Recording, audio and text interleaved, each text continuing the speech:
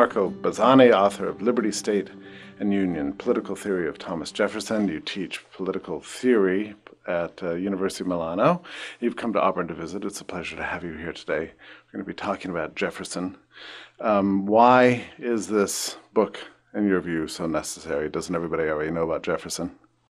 You know, what really triggered me, triggered my interest on Thomas Jefferson is uh, that he became um, a super icon of the, the left.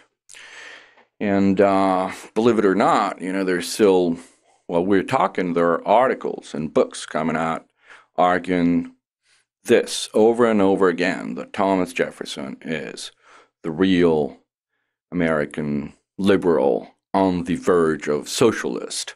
You know, sometimes you read stuff on Thomas Jefferson and you think you're reading stuff on Olof Palme or or a social democrat uh, classical. You but know, there, there are aspects of his thought that would appeal to um, at least to the American left, right? I mean, the, to the extent that um, uh, the American left believes in free speech, for example, civil liberties.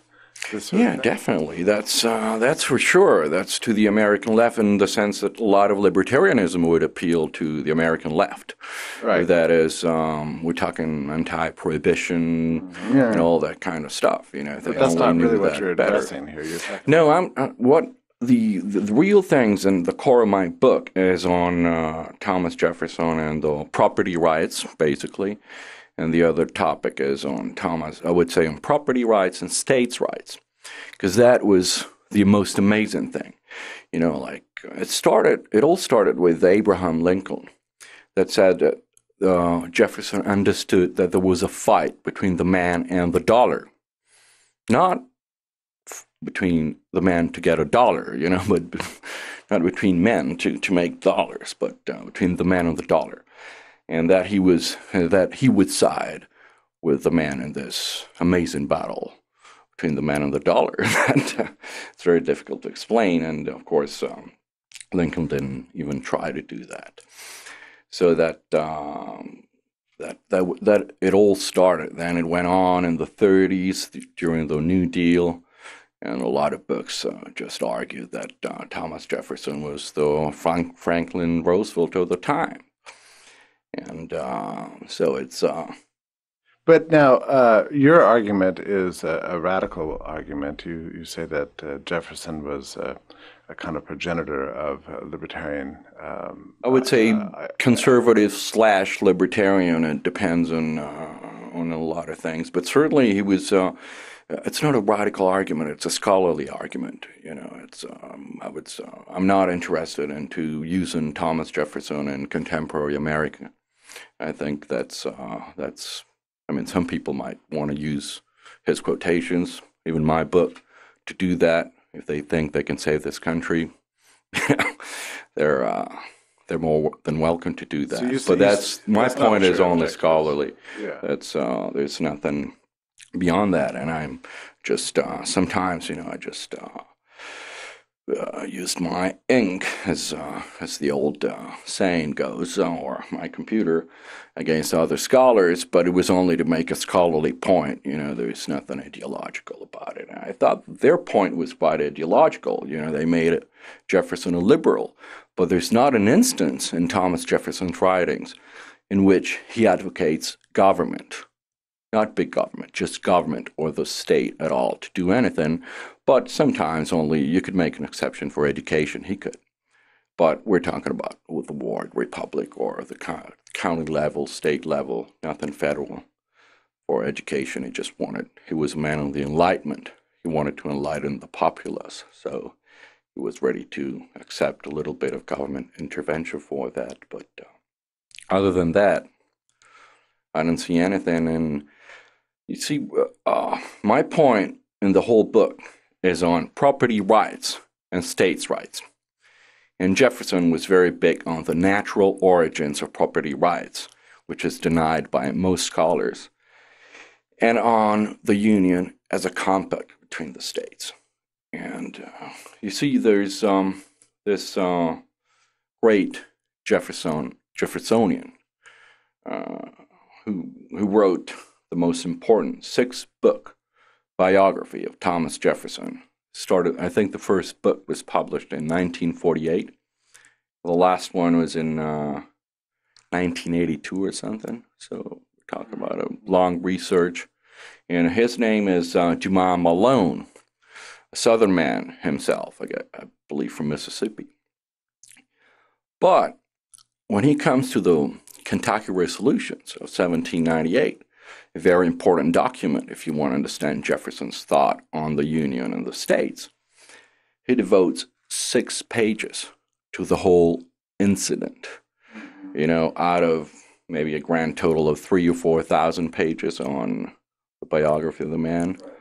And it's probably the most important single document ever produced by Thomas Jefferson's author, besides, of course, the Declaration of Independence. But your agenda here in this book is not just purely to debunk uh, prevailing uh, uh, conventions concerning the Jeffersonian thought, but to uh, but to cast Jefferson in uh, in his proper place in the history of liberty too, right? And how would you assess that? Yeah, that's you're right. This is to me is very important. In fact, I I think I called I said there's uh I want to I want to quote myself correctly. Yeah. I don't want to misquote. Well, at least myself. All right, yeah.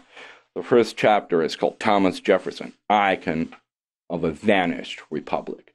So, and I guess the end of the book says something that uh, a lot of Jeffersonian scholars will not like, but all right, I said Jefferson's America may perhaps be born again at any moment. Indeed, as the shining city upon a hill in political rhetoric, it has never died. But with regard to historical reality, it vanished forever at Gettysburg. So, this is my place for Thomas Jefferson's political thought, would be from colonial times to independence up to the war between the states or the Civil War, as you want to call it. But no more than that. After the age of Lincoln, Thomas Jefferson was of no use for this country. Now, Jefferson had a, a, a major place in um, the founding period, um, uh, but it kept having Jeffersonianism kept having to reassert itself again and again after the passage of the Constitution. Do you discuss the, the Constitution and his views sure. on this matter here? Yeah, there's well, Thomas Jefferson. Th- there are some scholars. One one of them, he's a very good scholar. I mean, his name is Peter Onuf, and uh, he even wrote an article called uh, "Thomas Jefferson Federalist." now, if you read his thoughts on the Constitution, you would maybe write an article Thomas Jefferson anti-federalist right. because he was siding with the critics of the Constitution. Right. But of course, there's a famous letter in which he says, "Well, I'm not I will never be one of those two, either a federalist or an anti federalist, because they're parties, and parties divide people. So he was against that. But he was against the Constitution. He made it very clear. He got a copy of the Constitution when he was a minister in France, and he criticized it from the beginning to the end. You know, so would, would history have turned out differently if he had been in the United States at that during that period of time? There's um there's another important scholar whose name is Forrest McDonald, and um, he wrote in a book, he said, We were very lucky in 1787 that most of the radicals of 76 were not in the country and not in the Constitutional Convention. you know, so most of the people that were there, supposedly they were just uh, lawyers, common people ready to compromise, and that's why we could have my well, my impression is that uh, we could have gotten pretty well with the Articles of Confederation, but uh, but of course, well, they're, they're, most students of American government have, have are clueless about the subject, about this gulf that separates the Declaration from the Constitution. They just assume maybe they were just one was drafted on Monday and the other on Tuesday, something like that. Really, yeah, it's, it's about ten years, you know, 10, 11 years. It's yeah. a decade of uh, blood and and actually, there's uh, another scholar, Donald Lutz, who, who wrote a very important article, quote, trying to find out who the, the sources for the various decades of uh, in colonial times and as well as in Revolutionary American and the con- constitutional period. Now, in the Revolutionary America, the number one source was John Locke, quoted, misquoted, anything, but you know, always there. And uh, guess who was uh, the number one source during the constitutional times? Montesquieu. Right. So the gulf in political thought that separates John Locke and Montesquieu is what separates the Constitution and the Revolution. And uh, Jefferson himself drew very strongly from Locke, and you go into this. um, I consider Jefferson a, just a, a radical Lockean. He would just uh, radicalize most of Lockean formulas, and uh, it's uh, You even mentioned uh, uh, Count Destutt de Tracy in here, which I was pleased yeah, to see. used. Um, well, he was um, not uh, so much well versed in economics as uh, a lot of people might uh, think, you know, because Thomas Jefferson's got to be like uh, the best man of his time and everything. But now he read Turgot, right? He yeah, you know, he was he was definitely very. He read everything that came out. His library was, as most of our listeners probably know, like the the beginning of the Library of Congress. He donated it because he had a lot of debts, and uh, so actually it was not a real donation, but uh, that was the beginning of the Library of Congress. And you can you take a look at his library, and he he had all the books that uh, an intellectual And you could do worse than reading Turgot and, and de Tracy for Right. economics. Now, uh, we should talk about some of the myths that surround Jefferson. One of the things I should just mention in, in, in light of this is a, a very pervasive view that Jefferson favored um, agriculture over industry as, uh, as a- That's no, no. That's uh, well, you know, he was um, he loved the, the classics. You know, beginning with Greek, he could read, course, Greek, Latin, uh, all sorts of languages. He was not very proficient even in, uh, in French. He could not speak very well, but he could read any language, Latin languages especially, and read German, um, which was was not uh, required reading for an intellectual in those days. It will become just late, later on.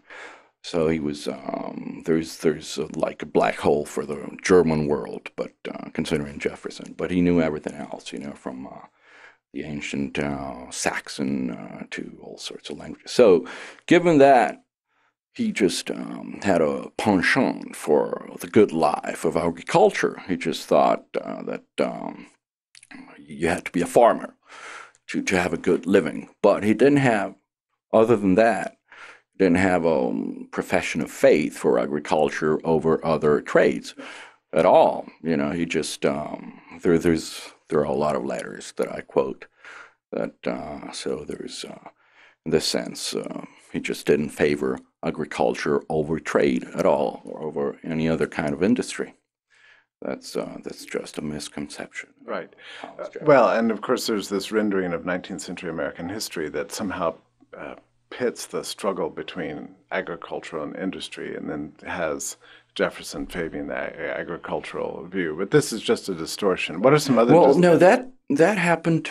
I think later on. That was uh, part of the tradition. Uh, I'll take my stand. Uh, That's part, of and That's then right. that's uh, Yeah, that yeah. Southern revivalist movement, and so they wanted, uh, which uh, which I think it's a little bit.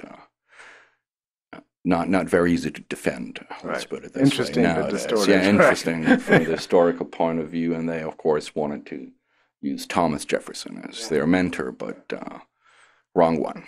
No, what are some other myths about Jefferson that you want to address?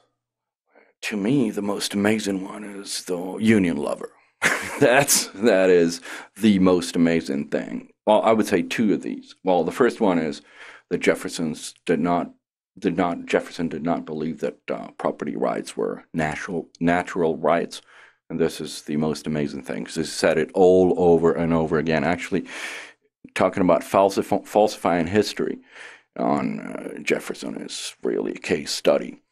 There there were some um, some guys who just uh, wrote uh, scholars in the 1920s who just quoted Tom Paine, and then uh, they just thought it was a letter by Thomas Jefferson and said this is Thomas Jefferson on property, but it was Tom Paine actually. And then you know they published another book, and I'm talking about Gilbert Chinard did that. Four years later, he said, I'm sorry. Like four years ago in this edition, I published a letter on property. And um, I mistakenly I got the you know I I just uh, I had a letter from Tom Paine and I thought it was Thomas Jefferson's. I reproduced the letter right here because although it was written by Tom Paine, it is exactly what, Thomas Jefferson thought about property rights. Right? Can you imagine that? Instead of just saying I'm sorry, I made a mistake, and so that's saying now right, it was not Thomas Jefferson, it was Tom Paine, but still, you know, because the whole story is that Thomas Jefferson just did not believe in property rights as, you know, just natural rights in the Lockean sense.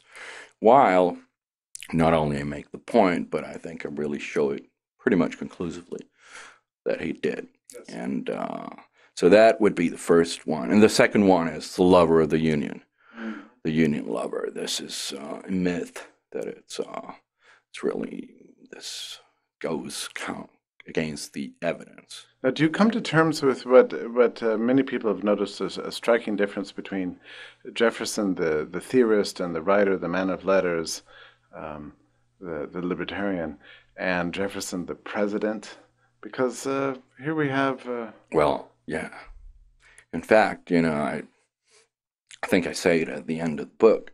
Uh, this book is about Jefferson as um, political Jefferson's political thought, you know, and political theory. So I stop short when he gets into the presidency. So he was, you could say, he was uh, a conservative slash libertarian, and then he became president, and then you know stop right there. But you see, the thing is, the other real force that was that drove his life was a love for peace, peace above all like the big mistake of the embargo was because he wanted to avoid the war. And he would have done anything to keep America out of any single war. Yeah. And that's very different from uh, modern conservatives yes. or modern liberals, you know, yeah. from any anybody in the political spectrum of the 1900s or this century. Now, when you say peace, you don't you don't mean just with uh, internationally, but also a, a general view of re- concerning peace in, in society. Definitely between the individuals and communities. Yeah, he just he just uh, believed that uh, the more you diffuse power, and the more peaceful you get, and the more you concentrate power. Actually, you could argue that the whole fight of Thomas Jefferson was against the modern state and the modern state agenda of just, which is very simple. I mean, we all discuss, read, we pretty much know everything about the modern state, but if you take a look at the modern state, there's only one big point in the agenda, which is concentration of power at any given center. And um, so the rest, compared to this, is just, you know, sub projects. But you know, it's like would be like a major and a minor.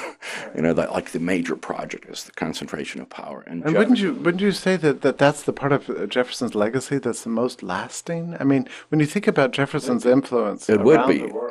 If it is, I mean, if it, yeah, I don't know if it really endures, but you know, it could be the most lasting part of the Jeffersonian legacy.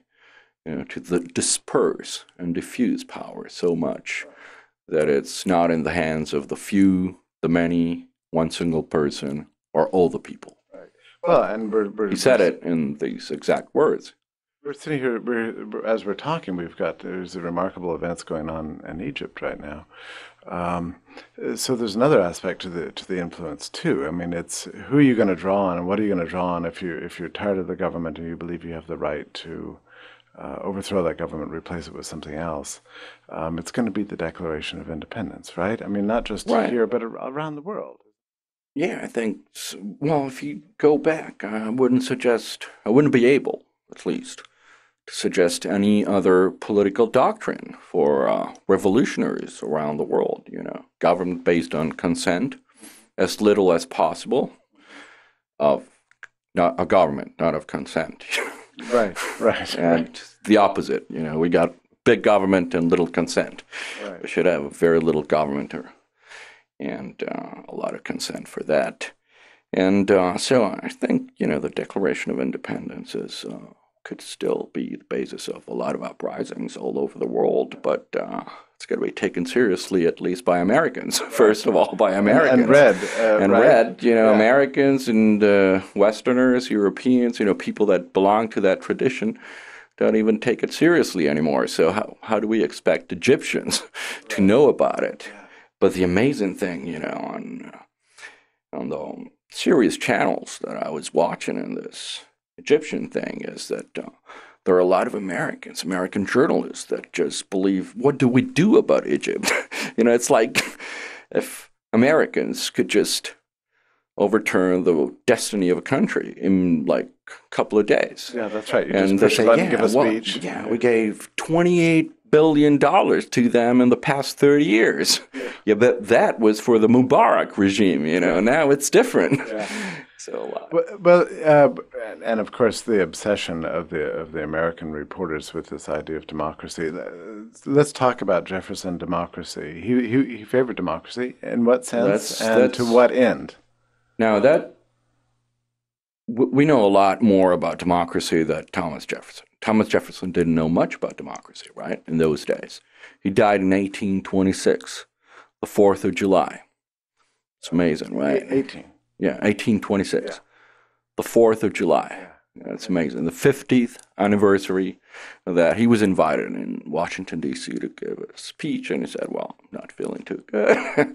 and so he died the same day. The same day died John Adams. And it's very well known that his last words of John Adams was, But Thomas Jefferson uh, is still alive, but which was not true because he was dead on the same day. But so the thing is, Thomas Jefferson didn't witness Adolf Hitler being elected during a democratic election, right? He didn't witness this kind of things that uh, we know. You see, I, I'm I got to tell you, I'm I don't.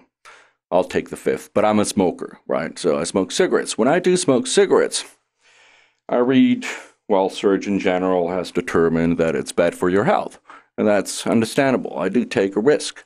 When I go to the ballots, and being Italian and American, I could go to the ballots almost every day, right? Because there's always an election going on if I really wanted to. And so when I go to the ballots, I should have a like a warning, a surgeon's general warning. Warning. This is a very dangerous thing. Dictators have been elected with this exact instrument, right? So in America, sometimes people are very naive about democracy, elections, and so on. And that Jefferson was a little naive. Je- no, all right. So that's that's one part. That's one part was he didn't know as much as we do about democracy. You know, the, the bad things that can happen in it. The other thing is, all right. So he just thought that the people were the best guardians of their own natural rights, right? So that part is still very much understandable, and uh, would subscribe to that point of view. You know, that's uh, who else but the people themselves. But you see, he had a, another conception of democracy. When we think about democracy, there's there's nothing more than more than one party, ballots Right. and votes, and people that go there line up, stand up. The more people they vote, and the more democratic is the election. Then, like in America, there are a lot of elections. Then, no more than the turnout is like twenty five percent or so on. And But still- crucially, who- whatever the results of democracy, you have to be happy with them. You have to. You have no grounds to complain whatsoever, because after all, you have democracy. Therefore, everything's fixed up. Yeah, but that's there are a lot of things in which the people are not allowed to vote. You know? So it's not like uh, there are so many things that uh, in in America and in Switzerland, because of the federalist origins of the countries of both the countries, the people still can vote on a larger issues and a lot of things like. But for instance, in Europe, sometimes the people just uh, vote the wrong way, and then they have another election that thing happened several times in the European Union. You know that they rejected the European Constitution and they they had to vote again. That happened ten years ago. Then, uh, like the French voted against it, and that was uh, six or seven years Well, ago. In fact, you have this. You have this whole nation-state apparatus that's not subject to any kind of democratic control whatsoever. I mean, you've got a kind of gloss of leadership on top, and you have the elite. The elite controls what is respectable in the political spectrum, and uh, what I think Thomas Jefferson would have considered the political spectrum uh, we have nowadays really narrow, you know, because it is. I mean, what uh, let's say, what, what do you go to from Hillary Clinton to, well, just name somebody on the respectable right. I don't know. I don't know. I don't keep up with that stuff. yeah, I don't keep up. I don't know if there's a respectable what about. What about uh, uh, the slogan that uh, Jefferson is the, the great prophet of equality in whatever way you want to use that term? Well, you see, Jefferson, some, if you, if you take a look at the, the real, uh, the whole thing, states' rights, Jefferson is as important or even more important than uh, John C. Calhoun in his own times. It was it just it was important, but uh, the whole thing was started by Jefferson. So all the major arguments. So why is John Calhoun considered like very objectionable, not part of the American political tradition, and Thomas Jefferson is? For one simple thing, equality. And Thomas Jefferson defended, at least theoretically, he never freed a slave in his life, and he owned several hundred. But, you know, at least theoretically, he was ashamed of himself as a slave owner. And on the other hand, um, John Calhoun was not. Uh, well, maybe deep inside he was, but he never confessed anything like that. So he was, I would say that on the moral, you know, on, uh, on moral grounds, uh, Thomas Jefferson was definitely correct although in his practical life. So he was he was arguing for equality. There is no doubt about that. Equality of all human beings is we all agree upon that. And, and no by which he meant equality of, of rights, yeah. uh, uh, having nothing to do with the redistribution of no, income. No, no, of course. Actually, he, he argues, and uh, even in his presidential speeches, uh, first one, second one, against the distribution of wealth one person to the other. You know, the wealth comes to Earth already distributed, and this, there's nothing the state can do about it. That's he makes it very clear. It's it's not Olof Palme, it's Thomas Jefferson. Yeah, it's, um, it so as a as a as a symbol of uh, so you continue to use the word uh, liberalism in a in a way that implies statism. We should make make clear. I mean, but, right. but there is a liberalism that represents a, a, a kind of the foreshadowing of liber- modern libertarianism. Yeah, but in in the alternatives that were posed to Americans and Westerners everywhere in the 1900s, on one side there is the market, on the other side there is the state the market is working for the bourgeoisie, the state is working for the working class, right? So that was somewhat little bit of the social, what the social democrats thought in Austria and uh, Germany and so on, and that's something that penetrated very deeply into the culture of the American left and the European left in general. You know, you could use the state against capitalism because capitalism in itself is unjust, unfair. You know, there's something not fair about it. And uh, so, in this sense, it would be very difficult to use Thomas Jefferson from the leftist point of view, if you consider this part of the left. But from the other side, you know, you just uh, the whole thing of the we were talking as I, I mentioned the Kentucky resolutions of 1798, and the whole battle started for free speech. You know, the whole thing started uh, as uh, we would call it a First Amendment riot or a First Amendment case right now because uh, of the Alien and Sedition laws that were passed on the 4th of July, actually, of 1798. Uh, a lot of things happened on the 4th of July. Not only fireworks, you know. Yeah. Right. Uh, and these laws uh, restricted speech. If you speak yeah. against the government, then it's off with your head. Jefferson. Uh, it was amazing. You know, so these laws would be considered uh, really totally unconstitutional nowadays in the United States. And it was really amazing. It was part of the French scare, you know, that uh, they just thought that the Jacobins were going to be all over this country and coming with all the immigrants and uh, and so they restricted so uh, the criticism. Criticism of the president could uh, could really bring you to jail. And uh, anybody, you know, though, who had a newspaper and uh, hosted a, an article on the president that uh, was not apologetic uh, would uh, risk to go to jail. There were, there's a Thomas Cooper guy who spent like uh, 25 months in jail for that. So that was a serious law and that threatened uh, free speech in America, and that's how he started to interpret the Constitution uh, in a different way. Thomas Jefferson. So that, that the Kentucky resolutions were considered part of the Constitution by Southerners until 1865 when they were showed a different Constitution, but uh, Lincoln's Constitution. Um, and all the liberals of that period, all the, the the the true believers in liberty, rallied around Jefferson. There was this tremendous uh, upset uh, in 1800, it just overthrew all the Hamiltonians and everything they represented. Yeah, because somewhat, you know, they just thought that free speech was against the consolidation of the Union. It is, isn't it amazing that our free speech liberals nowadays they just want as much union as possible to defend free speech, right?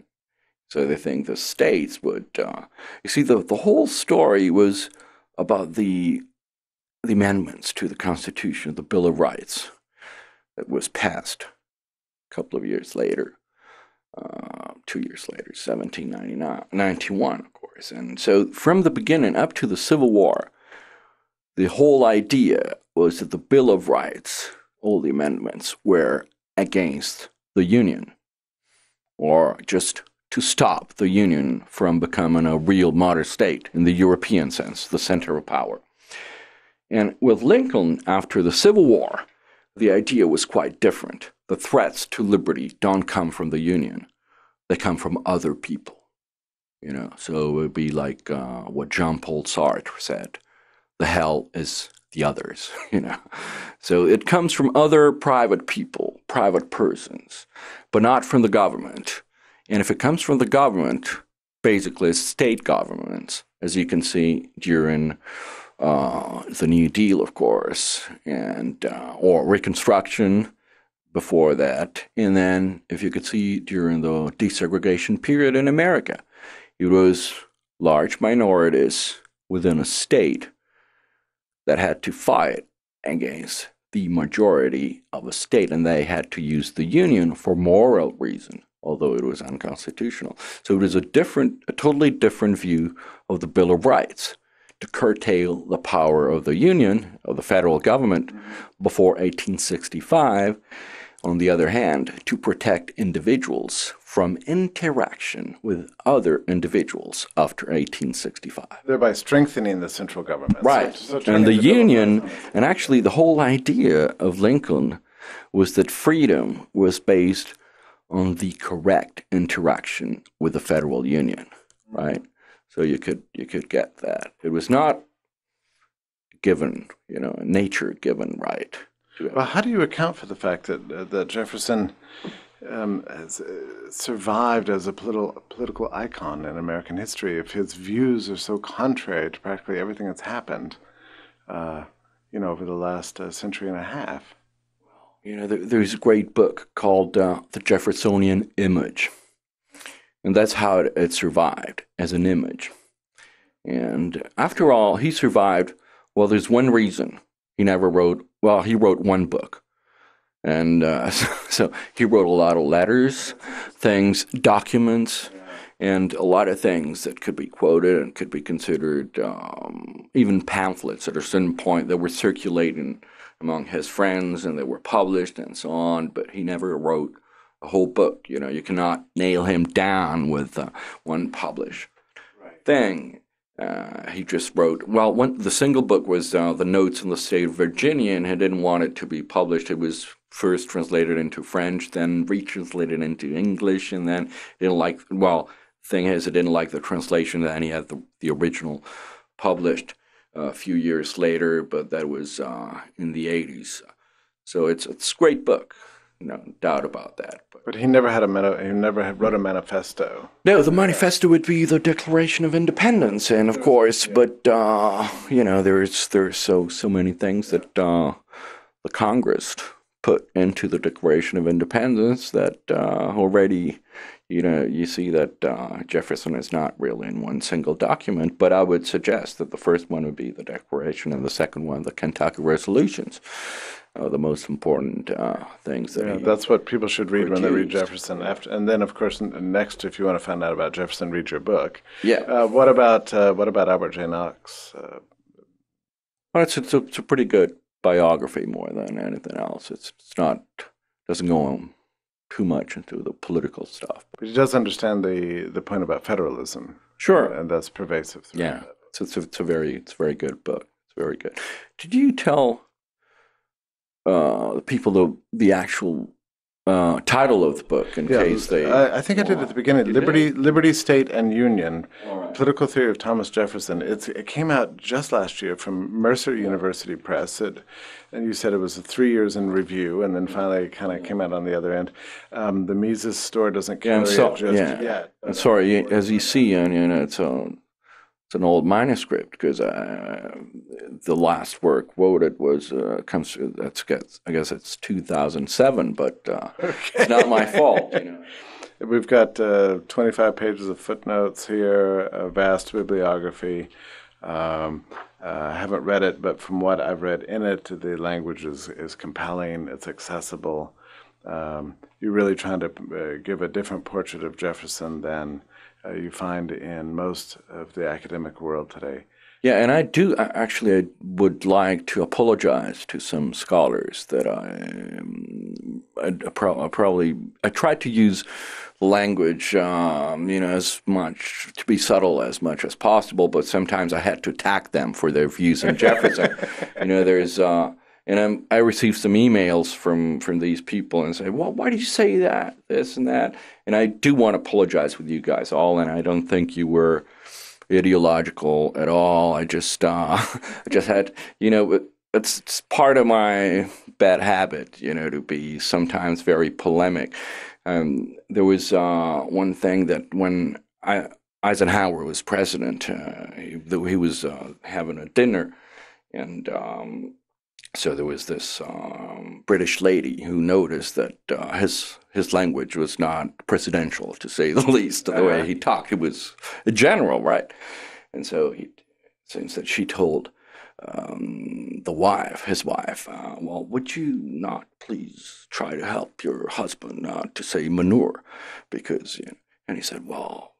That took me along, you know, to teach him not to say the other word, but that, and so that, You should be congratulated. right. for your- for your So. I'm really, yeah, that's my manure. Yeah, yeah.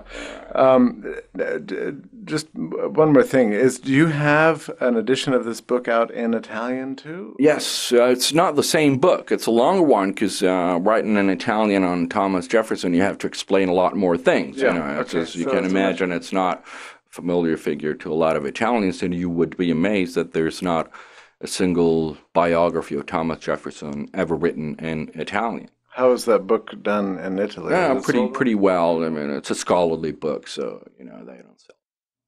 Are we expecting this to come out in paperback soon? We hope so. I hope so. You know, at least uh, would be. It's it's not too expensive. So, No, it's a good price. I think it's something like twenty-five dollars. I saw, so that's wonderful for a hardback book. Um, uh, Professor Bassani, thank you so much for writing this book and for coming and being with us today, and for giving us a new view of Jefferson. And I would say that it comes just in time for for us and for the world. Thanks a lot, Jeff. Anytime.